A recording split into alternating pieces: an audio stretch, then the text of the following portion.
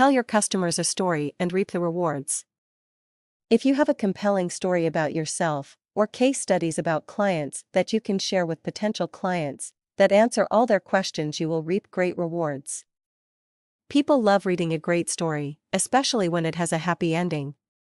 Success makes everyone happy, duh. If you have overcome great obstacles to get to where you are in your business and live, then sharing that story is important.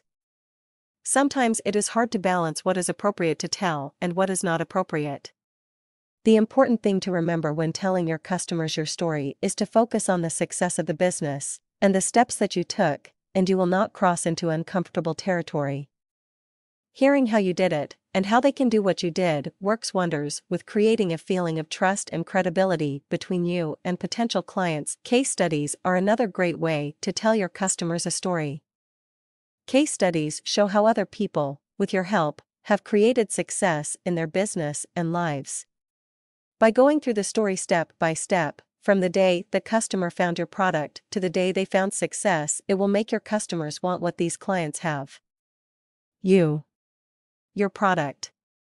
Your service. By telling these stories, it will create a feeling of trust and a bond between you and your customers. Once your customers trust you, and feel like they know you, it's pretty certain that they will become not only buyers of your products and services, but cheerleaders. They will want to share their success story too, in hopes that you put their story on your pages. The cycle will repeat itself and you will reap the rewards.